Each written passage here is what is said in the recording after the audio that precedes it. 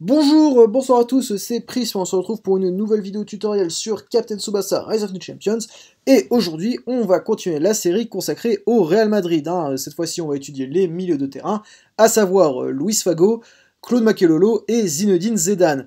Et euh, du coup, c'est la seule fois que je dirais Fago de la vidéo, puisque c'est censuré dans Rook, et étant donné que YouTube est un peu débile et que je me, je me suis déjà fait censurer, et j'ai dû recommencer une vidéo, puisque j'avais dit un truc qui était avec sur un, c'était la, vidéo, c'était la vidéo, euh, la vidéo sur Liverpool. Hein, euh, il n'avait pas surpris que je dise pou plusieurs fois.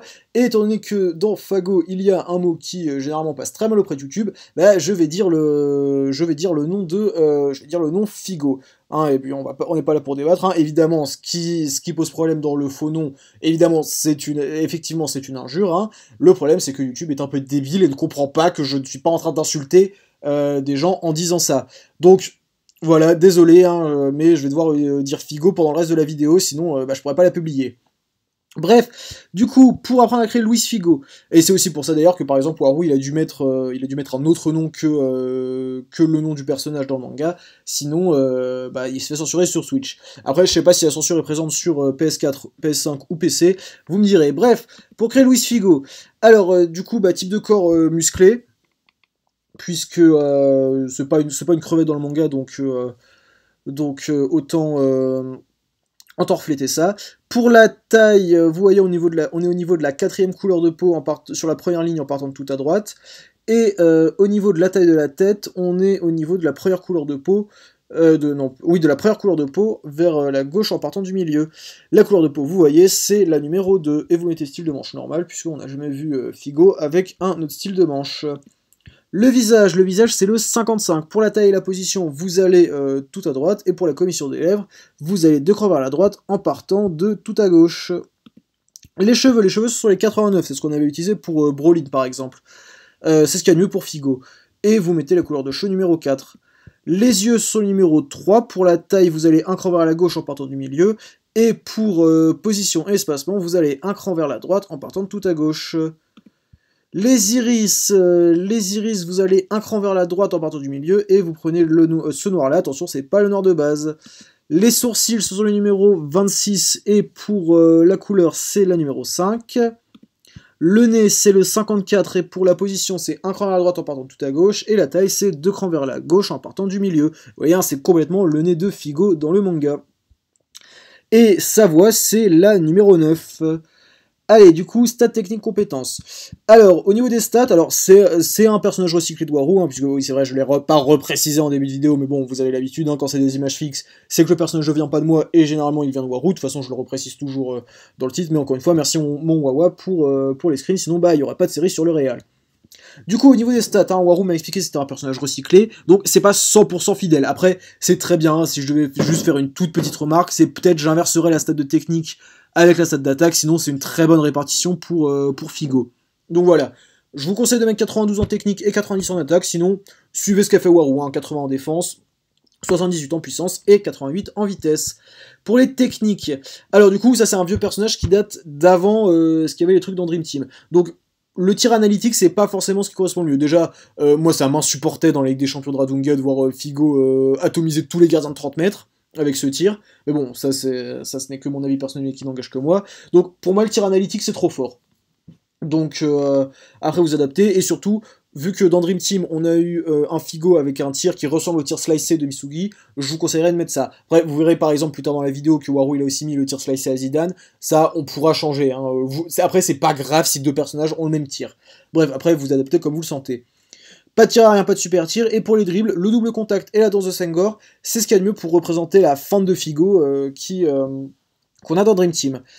Alors ensuite pour la passe, Longwaru a mis la passe de lame de rasoir. Bref, vous mettez une passe, euh, vous mettez n'importe quoi comme passe, sauf les passes bourrines. Hein. Vous mettez soit passe de contrôle, soit, soit passe courbe, soit passe, de lame, de rasoir. J'ai pas grand chose à dire là-dessus. Alors ensuite pour les tacles, évidemment pas de tir combo, pas de 1-2. Pour les tacles, vous mettez la charge d'épaule en tacle numéro 1 et pour le tacle... Euh, et pour le tacle 2, la glissade désespérée, c'est bien. Hein. Faut pas que votre Figo il récupère des ballons tout le temps, mais faut pas non plus qu'il se fasse passer par n'importe quel adversaire. Donc la glissade désespérée, c'est bien. Pour les compétences, alors euh, du coup, euh, Waru a mis tir de précision, dribbleur, dribble rythmique, machine à centre, roi du milieu de terrain et démon de la possession. Bon, grand chose à dire dessus, hein, mais surtout mettez dribbleur et dribble rythmique qui sont des, compétences effets très petits, histoire que votre personnage soit pas trop fort. Hein. Figo c'est personne dans le manga. Alors oui, IRL c'était un immense joueur, hein, un vainqueur du ballon d'or, mais euh, dans le manga il fait rien du tout, donc euh, vous embêtez pas à lui mettre des techniques trop fortes. Ensuite tir de précision, bah, histoire qu'il puisse quand même marquer quelques buts, mais si pour moi combiné à tir analytique c'est trop fort. Euh, machine à centre, alors le nom correspond pas bien, mais c'est la meilleure compétence pour, euh, que, euh, que vos attaquants ils fassent des tirs directs surpuissants. Roi du milieu de terrain, bah, parce que votre Fago il sera milieu de terrain, même si techniquement dans ce réal là vous allez jouer sur l'aile droite donc ça s'activera pas forcément. Bref, vous adaptez comme vous le sentez. Et démon de la possession, c'est pour éviter de se faire tacler trop facilement. Et si vous êtes en V-zone, c'est extrêmement fort comme compétence. Allez, maintenant qu'on a vu Figo, on va s'attaquer à Makelolo, où là, normalement, je devrais pas avoir de soucis à dire son, faux nom. Bref, et du coup, pour, euh, Figo, évidemment, vous lui mettez le numéro 10, qui était le numéro du joueur au Real à cette époque. Allez, pour euh, Makelolo, euh, type de corps géant, hein, Makelolo c'est un colosse dans le manga, et d'ailleurs, hein, aussi, petite anecdote, hein, mais ça, c'est parce que ça me fait rire, Makelolo est un de mes plus gros traumatismes sur Dream Team, parce que à chaque fois qu'on a un ticket SSR, vous pouvez être sûr qu'il y a son gros crâne qui va arriver et euh, qui va arriver pour me hanter. À chaque fois, je le drop tout le temps. Je le drop tellement souvent qu'il a fini par rentrer dans la légende, dans la légende euh, des, persos qu'on drop tout le temps dans, notre conf Dream Team. Hein. Euh, les gars de la conf, vous pourrez, vous pourrez confirmer. Bref, allez, on n'est pas là pour parler de Dream Team. du coup, type de corps géant. Pour la taille, vous êtes au niveau de la de, l'antépénultième, voilà, encore un mot que j'adore utiliser, hein, j'ai pas eu, me fait rire ce mot. Bref, au niveau de l'antépénultième couleur de peau sur la première rangée, la taille de la tête, vous allez un cran vers la droite en partant du milieu, et la couleur de peau, c'est le numéro 3 sur la deuxième rangée. Évidemment, vous ne faites pas comme Red Team, vous ne whitewashez pas Claude Makelele, hein, vous, le, vous lui mettez son vrai teint de peau. Euh, ensuite, pour le visage, le visage c'est le 45. Pour la taille de la bouche, vous restez au milieu. Pour euh, la commission, vous allez deux crans vers la gauche en partant du milieu, et la position de la gauche, c'est un cran vers la gauche en partant de tout à droite. Pour les cheveux, ou plutôt l'absence de cheveux de Makelolo, alors du coup, vous pouvez mettre la coupe 116, hein, ça, ça colle pas trop mal, et pour la couleur, vous mettez la numéro 5. Alors c'est pas parfait, mais de loin, on a l'impression qu'il est chauve, donc c'est pas plus mal.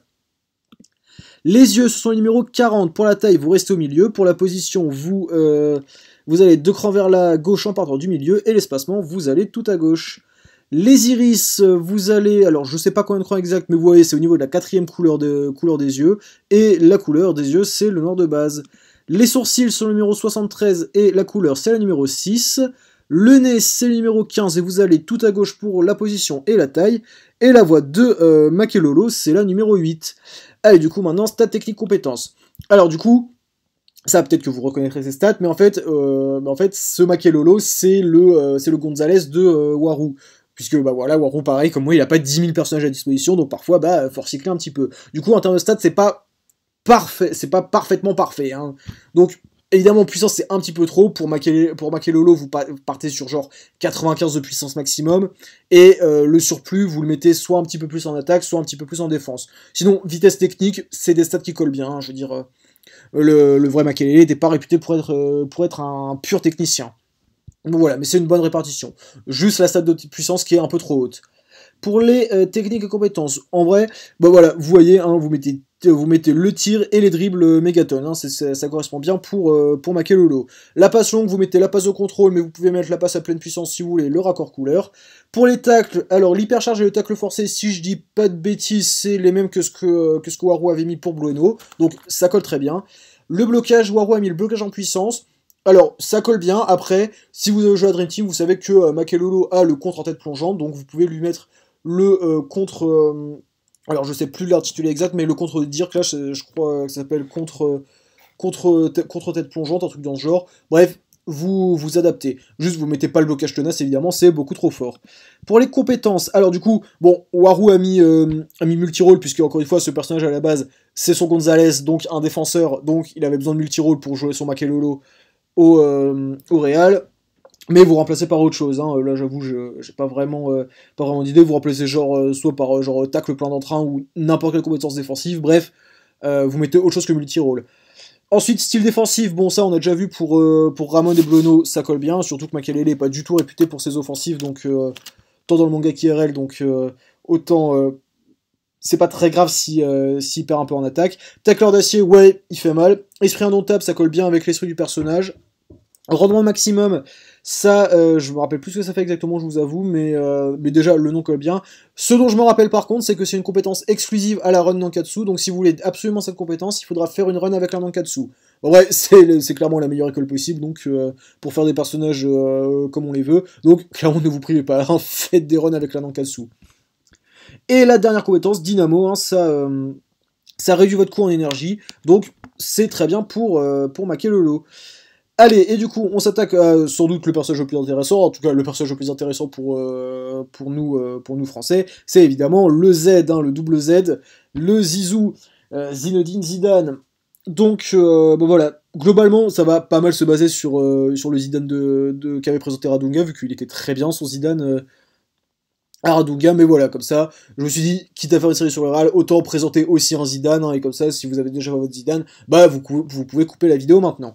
Bref, si, vous n'avez pas encore fait votre Zidane, et eh bah faites-le maintenant. Et puis j'ai encore oublié de parler du numéro de Makelolo, vous lui mettez le 24, puisque c'était le numéro de Makelele au Real, et c'est aussi son numéro dans le manga. Et pour Zidane, c'est le numéro 5, puisque c'est son numéro au euh, Real IRL, et donc logiquement celui qu'il va porter euh, dans le manga, puisque je rappelle que euh, Zidane au Real, c'est pas une idée de Next Dream, hein, c'est canon, c'est genre, c'est dans Rising Sun, on apprend que Zidane va signer au Real Madrid, en provenance de la Juventus, et donc il va sûrement porter le numéro 5 comme IRL. du coup, le corps, alors il est peut-être un petit peu grand, il faudrait que je revérifie la, la, vraie taille de Zizou, mais bon, en vrai, en termes de taille, c'est pas déconnant. Vous mettez entre la, troisième et quatrième couleur de peau sur la première ligne en partant de la fin, ça passe bien. La tête à tête, vous restez au milieu. La couleur de peau, vous voyez, on est sur la cinquième couleur de peau en partant de la fin sur la première rangée.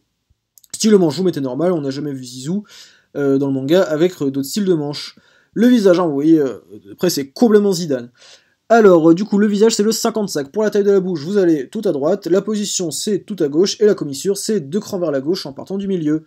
Pour les cheveux, enfin l'absence de cheveux, euh, pareil, vous mettez la coupe de cheveux numéro 16 et vous mettez cette couleur-là. Après, si vous voulez faire un Zidane avec des cheveux, eh ben vous, euh, vous changez, hein, vous mettez un truc, euh, un truc plus foncé. Pour les yeux, les yeux ce sont les 57. Pour la taille, vous allez un cran vers la droite en partant de tout à gauche. La position, vous restez au milieu. Et l'espacement, vous allez deux crans vers la gauche en partant du milieu. Les iris, les iris, vous allez un ou deux crans, je sais pas exactement, bref, vous voyez vers euh, la gauche en partant du milieu et vous mettez des yeux verts à Zizou. Euh, pour les sourcils, ils sont les 41 et la couleur c'est le numéro 2. Le nez c'est le numéro 2 pour la position, vous restez au milieu et la taille, vous allez, euh, deux crans vers la droite en partant du milieu. Et la voix de Zidane c'est le numéro 14. Hein. Il n'y a vraiment pas de meilleure voix pour Zidane. Allez, maintenant stats technique compétence. Encore une fois, c'est un personnage recyclé de la part de Waru, donc il, est limite un peu faible ce Zidane euh, en termes de stats. Attaque 90 c'est bien, le but c'est pas non plus d'en faire euh, un monstre absolu. Euh, donc attaque 90 c'est bien, vous pouvez mettre un tout petit peu plus, mais mettez pas trop non plus, hein, mettez surtout pas plus de 95 en attaque à Zidane. défense 83, c'est bien, ça correspond bien. Puissance 78, c'est clairement le point faible du personnage, tant dans le manga que IRL. Hein. Zidane, c'était un monstre absolu, mais c'était pas une bête de puissance. Donc 78 en puissance, c'est bien. Vitesse 85, ça, ça colle bien, vous pouvez mettre un tout petit peu plus si vous voulez. Technique 92, bon ça, encore une fois, c'est un personnage recyclé de Waru, mais technique 92, c'est beaucoup trop faible pour un Zidane. Hein. Pour Zidane, vous partez sur du 95 de technique, grand minimum, hein, et évidemment, si vous pouvez lui mettre 99 de technique, vous ne vous privez pas. Allez, du coup, maintenant, les techniques. Alors, pour les tirs, du coup, le tir slicé, ça colle bien. Après, encore une fois, je pense que si, si vous voulez absolument que chaque personnage ait un tir différent, ce que je peux concevoir, hein, personnellement, ça me gêne pas s'il y a un ou deux personnages qui ont un tir, euh, un tir, un tir euh, identique, mais ça me saoule quand, quand tout le monde a le même. Mais bref, encore une fois, si vous ne voulez que tous les personnages aient un tir différent, le tir slicé colle mieux à Fago. Euh, bah, évidemment, on espère que YouTube va pas me censurer. Euh, mais du coup, pour Zidane, le tir slice colle bien, mais si vous, si vous voulez absolument changer, vous pouvez mettre un truc différent. Vous pouvez mettre euh, bah, les tirs, euh, les tirs bananes, tranchants ou analytiques. C'est tout à fait possible, hein, mais évidemment, vous mettez un tir en technique à Zidane et certainement pas un tir bourrin. En tir aérien, la volée sautée, bon voilà, ça colle bien. Vous mettez un truc un peu, un peu passe-partout. Pas de super tir, puisque le vrai Zidane, était pas un énorme buteur.